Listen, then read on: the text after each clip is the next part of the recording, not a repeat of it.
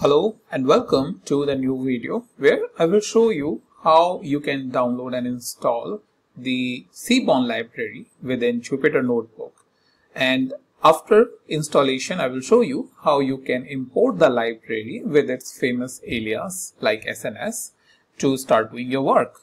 And before I show you this library, I just want to inform you that within the description, you can find the uh, videos which is related to the installation. For example, uh, there are there is a link for the video of uninstallation to update the package and scenario like those.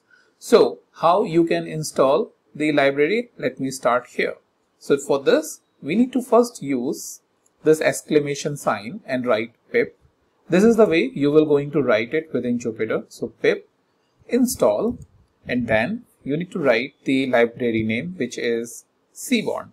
And once you hit the shift enter in the Windows or shift return in the Mac it will start looking up the library online. So make sure you are connected to internet otherwise it will not be able to find the library. Alright?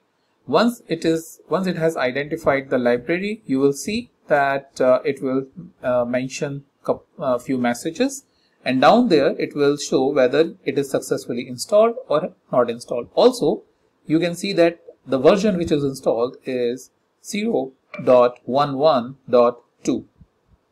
Now once it is installed, you will going to import the library using the import keyword. So import Seaborn and either you can stop here but generally, whenever programmers or the experienced programmers are using the Seaborn library, they mention an alias as SNS.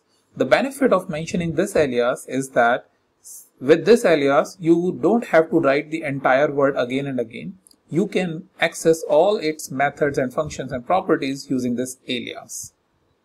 So once you hit shift enter, you will start using SNS dot and press the tab and you will see all these different methods and functions of the Seaborn library.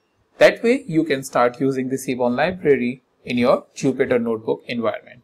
So that's the topic I wanted to show you in this video and now I'll meet you in the next video with a new topic.